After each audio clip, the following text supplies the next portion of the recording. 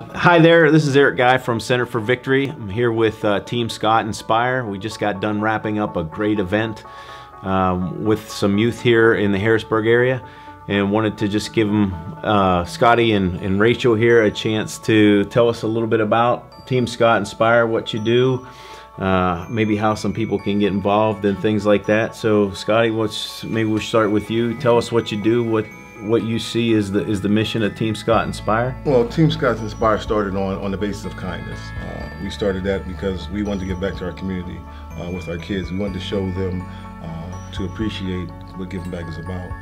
Uh, we had a trip to Philadelphia. We met a young man uh, at that time that was homeless. We found out there was an epidemic of homelessness in our area, so we wanted to know what we could do to help that. And uh, this became our mission, helping youth in general that are at risk, uh, have real life struggles. Okay. And uh, how long have you been doing this now, Rachel? We were established in May of 2016, so about three years now. Okay. And do you find that, that people are getting involved in, in your mission? The more people hear about what we're doing, the more they want to be involved, so it's definitely growing. Okay. Could you just give us some, maybe a, a few tidbits of how people can get involved? And I know you all don't like to ask for donations, but how they can donate, I'm going to ask for you because I think you're doing some great stuff here. But can you tell us how we how folks can get hooked up with Team Scott Inspire and then how they can donate to your cause? Sure, sure. Lots of ways to get involved. Volunteering with us out in the community is one easy way. As far as giving resources to the students, we are always collecting donations such as body soap or hand sanitizer, toothbrush, toothpaste.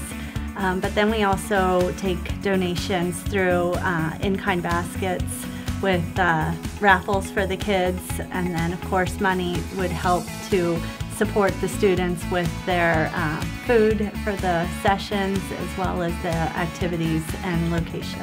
Okay, and um, if they wanted to donate, if people want to donate, uh, can they go online to do that? Yes, you can go to our website, uh, www.teamscottinspire.com com, and there's a donate button. Okay. And that's how they get in, in touch with you to do events, anything to volunteer and to donate? Yeah, we would recommend you sending us an email to get in touch, and that okay. is teamscottinspire at gmail.com. Very good. And uh, take, please take some time to donate, to look at uh, what they have going on. It's at teamscottinspire.com.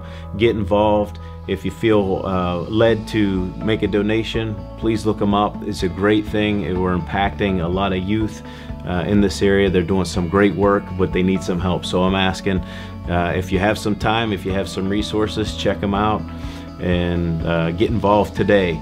And one last thing before we leave, just to inspire you a little bit uh, here, I'm going to take a, a quote from you guys. Uh, that's really inspiring to me. It's inspiring to a lot of people. But just remember, people will never go hungry if you keep feeding them with kindness. So keep feeding them with kindness, get involved, uh, reach out and help in any way you can. We appreciate it. Thanks.